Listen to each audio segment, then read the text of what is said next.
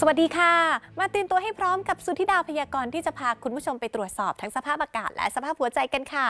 ในช่วง 3 วันนี้ความกดอากาศต่ำเนื่องจากความร้อนปกคลุมไทยตอนบนทำให้อุณหภูมิสูงขึ้น และอากาศร้อนในตอนกลางวัน ขณะที่ลมใต้และลมตะวันออกเฉียงใต้ยังพัดปกคลุมภาคอีสานตอนล่าง ภาคกลาง ภาคตะวันออกกรุงเทพและปริมณฑลประกอบกับคลื่นกระแสลมฝ่ายตะวันตกจะเคลื่อนเข้าปกคลุมภาคเหนือกับภาคอีสานตอนบนทำให้ภาคเหนือ ภาคอีสานและภาคกลาง มีพายุฤดูร้อนเกิดขึ้นค่ะ โดยมีพายุฝนฟ้าขนองลมกระโชกแรง ลูกเห็บตกและฟ้าผ่าค่ะ